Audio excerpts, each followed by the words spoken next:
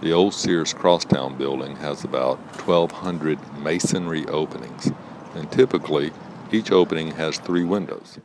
All will be replaced in the $175 million renovation.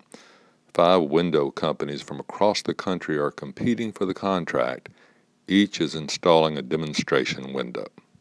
The goal is to historically match the existing windows uh, with sight lines and um, so what we're doing is putting in a sample window to depict our capabilities for the project. Uh, it's a it's a it's one of those monumental projects. It's 1,200 plus openings. Um, it's a well, essentially a landmark project throughout the country. There are five or seven of these old Sears buildings that were erected, so they're very uh, very high profile projects and be fantastic to be associated with them.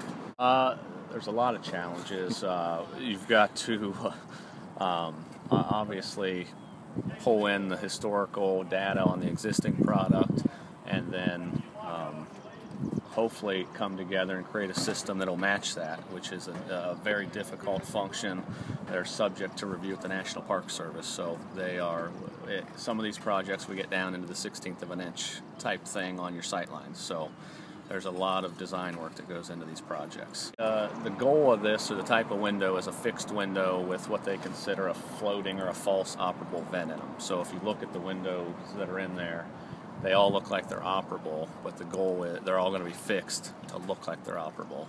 Uh, and that's really the, the, main characteristic of the project. So in other words, look, they look like they can open and close, but they can't? Correct. The, the, uh, one of the goals of going back to the replacement window here is to put an energy efficient dual pane window in as opposed to fixing up the existing. So it'll be a huge thermal boost for the building when it's complete.